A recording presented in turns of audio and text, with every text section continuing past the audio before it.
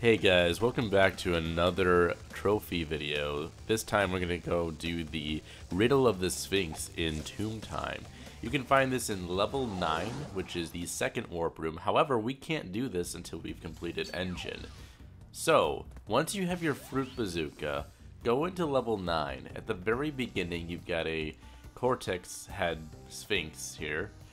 All you have to do is pull out that bazooka and aim around the left and right of his chin.